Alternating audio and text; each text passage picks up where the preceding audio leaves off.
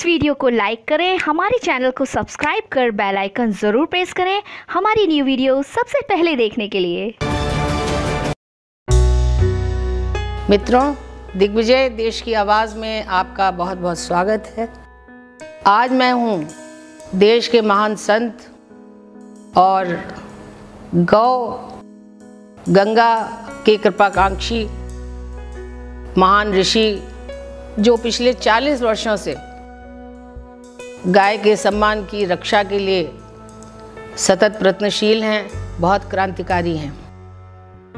महाराज जी गोपाल मणि जी आपका हमारे चैनल दिग्विजय देश की आवाज़ में बहुत बहुत अभिनंदन है बहुत बहुत स्वागत है।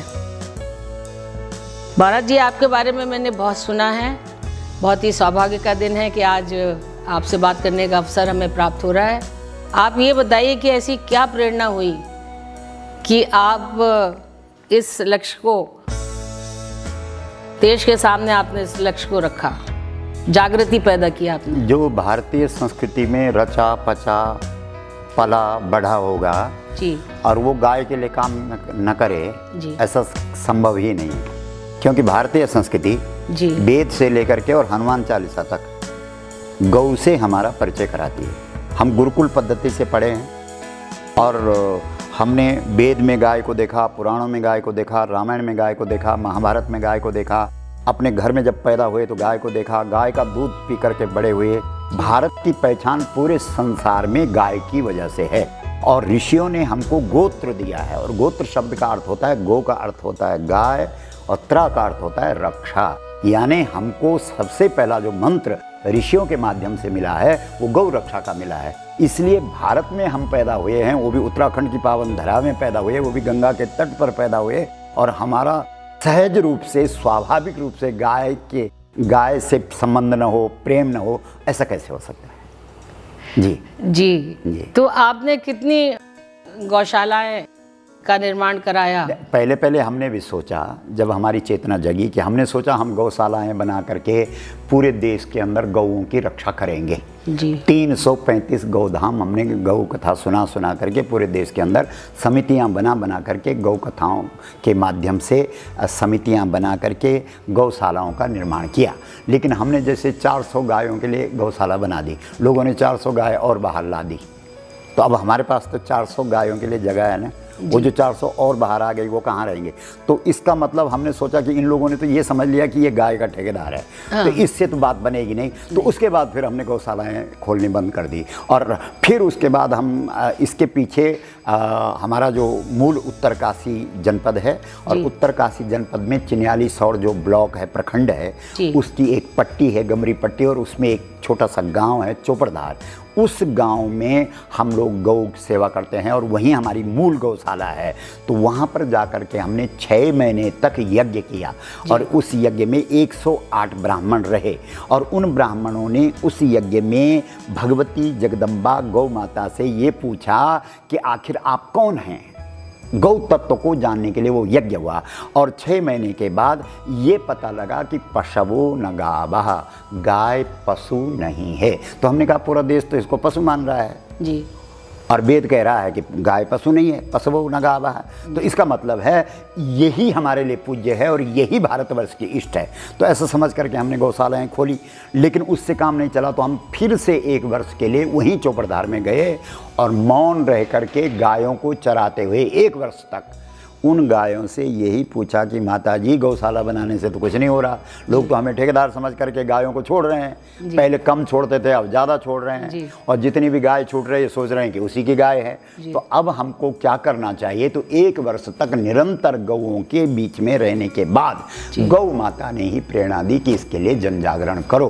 क्योंकि जाने बिनु न होई प्रतीति बिनु प्रतीति होई नहीं प्रीति। मतलब जब तक हम किसी को जानते नहीं हैं तब तक उसके प्रति विश्वास नहीं होता है और जब तक विश्वास नहीं होता है, तब तक प्रेम नहीं होता है। तो इसका मतलब है, किसी भी विषय को उठाते समय हमको उसको जानना होगा। तो ये देश गाय को भूल चुका है, इसलिए गाय को जनवाना होगा, गाय को लोग जाने। इस उद्देश्य को लेकर के फिर धेनुमानस की रचना होना ये जो ग्रंथ यहाँ पर आपके सामने है। और इसके आधार पर पूरे देश के अंदर 2008 से 1980 से लेकर के और 2008 तक हमने राम कथा भागवत कथा शिव पुराण देवी भागवत वेद इन पर प्रवचन किए। लेकिन जब धेनुमानस की रचना गौ माता की प्रेरणा से हुई तो 2008 से गौ कथा का शंखनाद पूरे देश के अंदर हुआ और ये जन आंदोलन के रूप में पूरे देश के अंदर फैला। जी। मैंने सुना आपके साथ दस लाख लोग जुड़े हुए हैं देश भर में। नहीं लोग तो जब हमने तीन तीन बार यहाँ किया आपको आश्चर्य होगा कि बिना संसाधनों के हमने इस देश के 29 राज्यों की राजधानियों में भी रैलियाँ की है। दिल्ली के रामलीला मैदान में तीन तीन बार लाखों लोगों को लेकर के आए हैं और इस देश के हर जनपद में हमने रैलियाँ निकाली हैं। तो लोग तो कितने ही जुड़े होंगे लेकिन हम उनसे संपर्क नहीं साध पाए। नहीं तो लाखों में नहीं करोड़ों लोग हैं जो गौ माता के प्रति जागरूक हैं इस समय वर्तमान में। जी। अभी महाराज जी जो देश की बड़ी राजधानियाँ हैं। जी। वहाँ पे गाय को रखने में प्रतिबंध बिल्कुल। है। तो जो लोग चाहते भी हैं हाँ। कि हम गाय रखें हाँ। वो भी असमर्थ हैं। हाँ तो इसलिए है ना क्योंकि हमारा भारत भारत नहीं है ना। जी। अंग्रेज़ों से अंग्रेज़ों की गुलामी अभी तक चल रही है। अन्यथा जिस देश के वेद पुराण धर्म शास्त्र कहते हों कि गोष्ठम आसाद्य तिष्टंतम भवनस्य समीपता मतलब आपको घर बनाने की अनुमति तब मिलेगी जब आपके घर में गाय होगी। जिस देश का वैदिक संविधान इस बात को बोलता हो उस देश का कानून ये बोल रहा हो कि बड़ी बड़ी नगरियों में गाय न रखें तो हम कैसे मान लें कि हम आज़ाद हैं? तो सच्ची बात यह है कि सत्ता हस्तांतरण हुआ है। हम आज़ाद नहीं हुए हैं। आज भी इस देश का जो दिन है वो रात को 12 बजे खुलता है। और भारतीय संस्कृति में रात को 12 बजे दिन नहीं खुलता है सूर्योदय के साथ दिन खुलता है। तो जिस दिन इस देश का दिन सूर्योदय के साथ खुलेगा उस दिन हर घर में गाय रखना अनिवार्य हो जाएगा। तो पहले भारत को भारत बनाना पड़ेगा। जी। फिर भी तमाम विषम परिस्थितियों के बावजूद जी। देश में कुछ संत महात्मा गाँव के रक्षण के लिए कार्य कर रहे हैं। जी। क्या आप बता सकते हैं ऐसी कौन सी गौशालाएँ हैं देश में जो बहुत बड़े स्तर पर काम कर रही हैं? कर रही हैं। जैसे पथमेड़ा है राजस्थान में। जी। स्वामी दस शरणानंद जी महाराज हैं। दो लाख गौए हैं उनके पास। और अपने स्वामी राजेंद्र दास जी हैं। उनके पास यहाँ गढ़खौर है राजस्थान और हरियाणा का बॉर्डर है। जी। तो उनके पास भी लाखों गाय हैं। और इधर हाँ और इधर कृष्णानंद जी हैं पंजाब में। उनके पास भी हज़ारों गौए हैं। बहुत सारे साधु महात्मा हैं जो इस कार्य में लगे हुए हैं। जी। ये स्वयं की प्रेरणा से कर रहे हैं या आप आपने इनको उत्प्रेरित किया नहीं है? नहीं उनकी स्वयं की प्रेरणा है। वो तो साधु हैं बड़े बड़े संत हैं। जो असली साधु होगा बहुत बड़ा पुण्य चाहिए राजा बनने के लिए। लेकिन संपूर्ण जगत का पुण्य इकट्ठा हो जाए तब व्यक्ति महाराज बनता है। तो जो ये जो लोग जैसे प्रधानमंत्री बन गए राष्ट्रपति बन गए मुख्यमंत्री बन गए ये तो राजा होते हैं।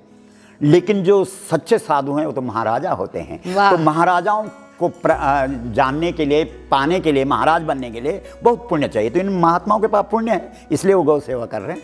तो जो सच्चे साधु होंगे वो गाय के लिए काम करेंगे ही। इसमें कोई दो राय नहीं है। अच्छा एक व्यवहारिक बात बताइए जी। कि इस महान कार्य को करते हुए जी। आपको किस तरह की तकलीफें दिक्कतों का सामना करना पड़ा? जब कलयुग शुरू हुआ तो उसके हाथ पे डंडा था। और उसने उस डंडे से गाय को मारा है।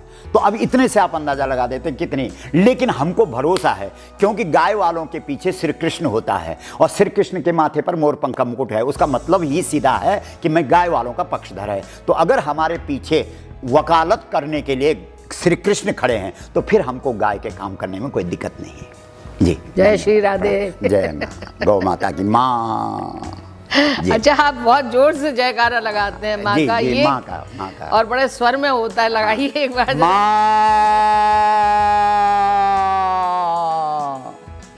बिल्कुल आपकी नाभि से निकलता है स्वर। जी, जी, जी।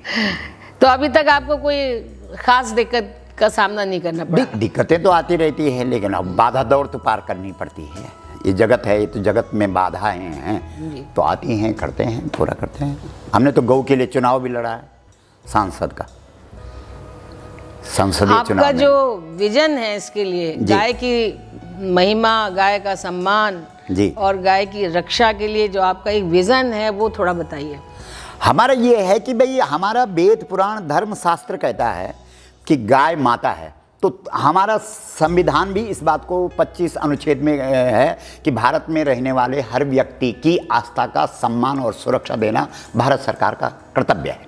आपको मालूम होगा कि जम्मू कश्मीर में जहाँ पर जो है मोहम्मद साहब के बाल रखे गए हैं और उसके लिए 700 करोड़ रुपए का खर्चा आता है एक साल का। हज़रत बल। हाँ तो जब क्योंकि वो आस्था का विषय है ना तो गाय भी हमारा आस्था का विषय है।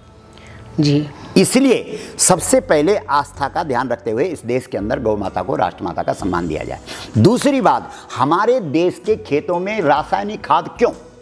हमारे देश के खेतों में गोबर की खाद का ही उपयोग होना चाहिए। वो गोबर किसानों से खरीदा जाना चाहिए। जैसे छत्तीसगढ़ सरकार ने चार रुपए किलो गोबर खरीदना शुरू कर दिया तो भारत सरकार इस काम को कर दे। कोई भी गाय आपको सड़क में नहीं मिलेगी तो प्रत्येक किसान को कम से कम दस रुपये एक किलो गोबर का मूल्य मिल जाएगा। तो कैसे आर्थिक समृद्धशाली हमारा भारतवर्ष हो जाएगा। हमारा भारत दुनिया में आर्थिक सुसंपन्न देश तब था जब इस देश के अंदर गोबर की कीमत थी। आज गोबर को समझते नहीं। हमारे यहाँ तो गोबर की इतनी कीमत है कि हमने उसको प्रथम देवता के रूप में स्वीकार किया है। क्योंकि हमारे यहाँ गोबर से ही गणेश बनता है। और इस देश के 10 वर्ष तक के बच्चों को गाय का दूध ही पिलाया जाए। क्योंकि जो बच्चा गाय का दूध पिएगा वो राम और कृष्ण बनेगा। फिर समस्या ही नहीं रहेगी कि इस देश की संस्कृति को नहीं मानते हैं ये नहीं कहते हैं धर्मांतरण हो रहा है। ये सब क्यों हो रहा है? क्योंकि दूध से बुद्धि बनती है, अन्न से मन बनता है, पानी से वाणी बनती है। अगर दूध ठीक हो जाएगा तो सारा देश, समाज ठीक हो जाएगा। तो 10 वर्ष तक के बच्चों को गाय का दूध दिया जाए किसान को गोबर का मूल्य दिया जाए, गौ मंत्रालय अलग से खोला जाए। हर गाँव में पाँच युवतियाँ और पाँच युवक गौ सेविका और गौ सेवक के रूप में नियुक्त किए जाएँ। सरकारी कर्मचारियों के रूप में उनको ऐसी वेतन मिले और प्रत्येक गाँव में यंत्र लगाए जाएँ, मशीनें लगाई जाए, एक तरफ़ से गोबर डाला जाए, दूसरी तरफ़ से उसकी खाद निकल रही है, तीसरी तरफ़ से गोबर गैस निकल रहा है। गोबर गैस से इस देश के चूल्हे जलने चाहिए, गोबर गैस से इस देश की मोटर गाड़ियाँ चलनी चाहिए। अरे गोबर गैस से चंद्रयान जो आपने छोड़ा था, चंद्रयान दो और वो नहीं पहुँच पाया चंद्रलोक में। क्यों नहीं? अगर वो गोबर गैस से जा रहा होता तो बिल्कुल पहुँचता। हमने तो इस बात को कहा। और वैज्ञानिकों ने भी इस बात को माना कि चंद्रयान भी इस देश के अंदर गोबर गैस से उड़ सकते हैं ये वैज्ञानिकों की रिपोर्ट है। तो इस प्रकार से गोबर का उपयोग हो। हमारी ऋषियों ने गोमय बसते आज चिल्ला रहे हैं। अर्थ हमने तो पहले ही कहा जब कोरोना शुरू हुआ हमने कहा भाई पंचगव्य हमारे पास है। किसी दूसरी तरफ़ जाने की ज़रूरत नहीं है। लेकिन इनको तो पंचगव्य माने क्या क्या पंचगव्य मतलब गाय की पाँच चीज़ें गाय का गोबर हो गया गाय का गौमूत्र हो गया गाय का दूध हो गया गाय का दही हो गया गाय का घी हो गया। ये पंचगव्य। पंचगव्यात प्रासनात् पंचगव्य दहत्यक निर्वेंदनम अगर आप पंचगव्य का अ, सेवन करेंगे तो संपूर्ण व्याधियों से आपको समाधान मिलेगा। आजकल तो लोग कैंसर पे भी इसका प्रयोग कर रहे हैं। कैंसर पे प्रयोग नहीं कैंसर ठीक हो चुका है पंचगव्य से। ये रिपोर्ट है। ये तो डॉक्टर हर्षवर्धन जी जो हमारे स्वास्थ्य मंत्री हैं उन्होंने संसद में ये बयान दिया। कि कैंसर बीमारी को दूर करने के लिए पंचगव्य का सफल प्रयोग हुआ है। यानी वो आ रहे हैं आजकल कांग्रेस के बड़े नेता। हाँ, वो भी कह रहे हैं। ऑस्कर फर्नांडिस। जी, जी, जी, वो भी कह रहे हैं कि मैंने- बिल्कुल ही अंग्रेज़ हैं लेकिन वो भी इस बात की वो स्वीकार है स्वीकार किया है उन्होंने कि मेरा कैंसर पंचगव्य से ठीक हुआ है। जी। तो बड़ी उपलब्धि है। हाँ अच्छा लोग बुढ़ापे में हाँ। गाय को सड़क के किनारे या तस्करों के हाथ में लगने के लिए छोड़ देते हैं। हाँ। इसका मुख्य कारण यही है कि वो सोचते हैं कि अब ये वज़न हो गई हम पे। भार हो गई। उनके लिए वो पशु है। और पशु जब तक उससे फ़ायदा देखेंगे तब तक रखेंगे ना। लेकिन जब वैदिक संस्कृति का अनुसरण होगा कि पशु नहीं है और गाय तो कभी व्यर्थ हो ही नहीं सकती ना क्योंकि उसका तो गौमूत्र काम का है। उसका गोबर काम का है। भाई दूध देना बंद करेगी गोबर गोबर और गोमूत्र देना बंद थोड़ी करेगी। तो ये सरकार का काम था लेकिन सरकार तो डरती है ना। अंग्रेज़ों से डरती है डब्ल्यू एच ओ से डरती है कि अगर हम गाय का करेंगे तो सब लोग स्वीकार नहीं करेंगे और फिर हमको नेता बनना है विश्व का नेता बनना है भारत का नेता नहीं रहना है ना। तो ये भी तो बातें हैं। यानी आपके हिसाब से गाय मरते दम तक उपयोगी है? बहुत उपयोगी है और भारत की जो आर्थिक शक्ति है वो है गाय। अगर आप आर्थिक दृष्टिकोण से देखेंगे तो गाय भारत का जब भारतवर्ष सोना सोने की नगरी द्वारिका थी तो वो गौ की वजह से थी। आज भी जैसे लोग कहते हैं कि दस लाख पंद्रह लाख तुम्हारे खाते में डाल देंगे। जिस दिन गौ माता को इस देश में सम्मान मिल गया और गोबर का उपयोग हो गया उस दिन खाते में पंद्रह लाख डालने की ज़रूरत नहीं है। हर व्यक्ति का घर सोने का बन जाएगा। जी। ये अत्युक्ति नहीं है अतिशयोक्ति नहीं है। जी। ये यथार्थ है। तो आप देश की जनता को क्या कहना चाहते हैं? हम देश की जनता को ये कहना चाहते हैं कि आओ और सबसे पहले गाय को जानो, क्योंकि तुम लोग ये समझ रहे हो कि गाय पशु है और गाय पशु नहीं है। ये धर्म को भी देने वाली है, गाय का संबंध धर्म से भी है। ये तुम्हारे देश को सोने की चिड़िया नहीं, सोने का पहाड़ बना देगी। अर्थ भी इसके पास है, ये भी हम कहना चाहते हैं। कामना की पूर्ति करने वाली ये कामधेनु है और अंतिम समय में अगर इसकी पूछ पकड़ ली तो भारतवर्ष की जो संस्कृति अध्यात्म की संस्कृति है उसको प्रदान करने वाली भी गौ माता है। इसलिए पूरे देश की जनता का आह्वान है आओ हम गाय को जाने। और जिस दिन तुम जान लोगे उस दिन तुम इधर उधर भटकने की ज़रूरत ही नहीं रहेगी। ये ये संदेश देना चाहते हैं। थैंक यू जी धन्यवाद। दोस्तों ये हैं गोपाल मणि जी महाराज जिन्होंने बहुत ही खूबसूरत पुस्तक धेनु मानस, रामचरित मानस के तर्ज पर धेनु मानस बनाई है और इसमें बहुत ही सुंदर चौपाइयाँ हैं, जो सब के सब वेद उपनिषदों से प्रेरित हैं और रामचरित मानस की ही जो गीत शैली है गाने की, उसमें ये बड़े ही आनंद से आप इसका पठन कर सकते हैं।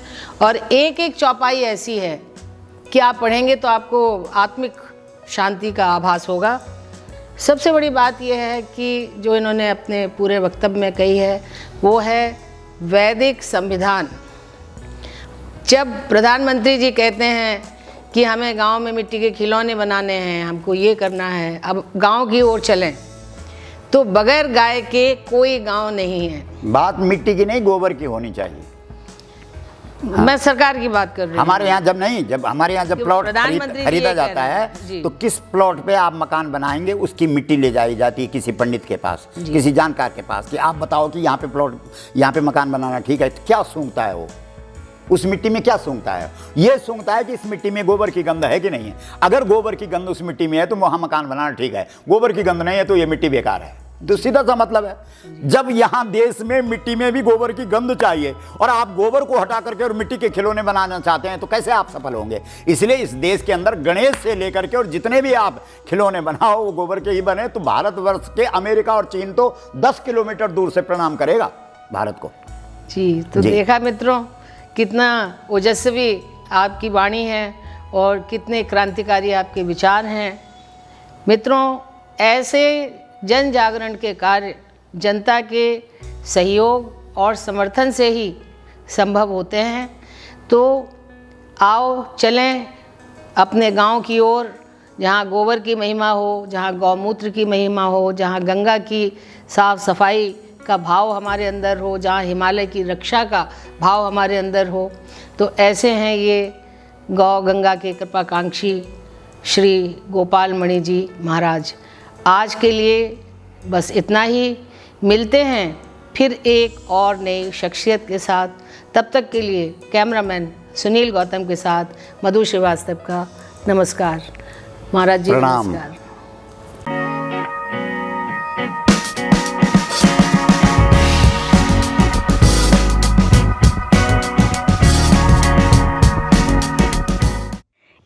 वीडियो को लाइक करें, हमारे चैनल को सब्सक्राइब कर बेल आइकन ज़रूर प्रेस करें हमारी न्यू वीडियो सबसे पहले देखने के लिए।